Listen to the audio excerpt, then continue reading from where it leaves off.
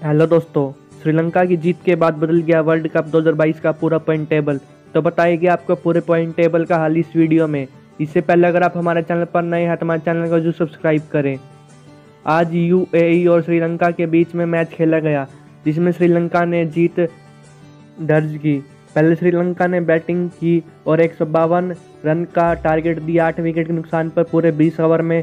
वहीं यूएई ने तिहत्तर रन ही बना सकी 17.1 ओवर में।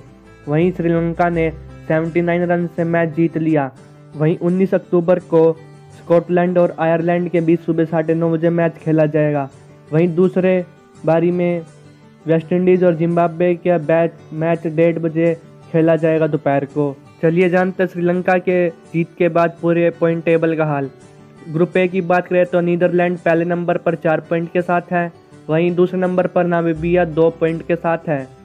तीसरे नंबर पर श्रीलंका दो पॉइंट के साथ है, वहीं चौथे नंबर पर यू ए ज़ीरो पॉइंट के साथ है। वहीं टीम बी की बात करें तो स्कॉटलैंड दो पॉइंट के साथ है, जिम्बाब्वे दो पॉइंट के साथ दूसरे नंबर पर है, वहीं तीसरे नंबर पर आयरलैंड ज़ीरो पॉइंट के साथ है, चौथे नंबर पर वेस्ट इंडीज ज़ीरो पॉइंट के साथ है।